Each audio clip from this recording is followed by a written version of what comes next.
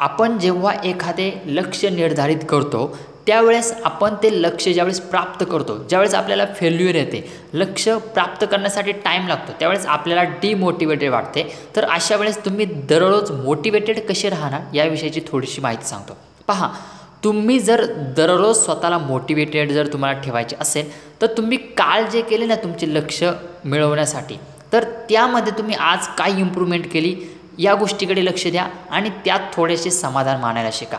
कालच्यापेक्षा आज स्वतःला बेटर कसे केले जाईल या गोष्टीकडे तुम्ही स्वतः लक्ष देत चला. पहा तुम्हाला मोटिवेटेड वाटेल आणि स्वतःमध्येच एक प्रकारे रिझल्ट तयार करा.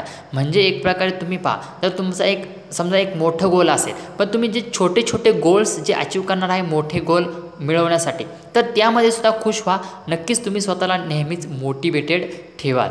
या चांगल्या गोष्टी आहेत या चांगल्या सवयी आहेत त्या तुम्हाला जर तुम्ही या गुड हॅबिट्स आपण म्हणतो गुड हॅबिट जर तुम्ही चांगल्या पद्धतीने आत्मसात केला की स्वतःला मोटिवेटेड कसे ठेवायचे? स्वतःचाच आधीचा रिझल्ट पाहायचा आणि आत्ताचा रिझल्ट या गोष्टीमध्ये बदल दिसला की चांगला नक्कीच तुम्ही मोटिवेटेड राहायला मदत होईलच. थँक्यू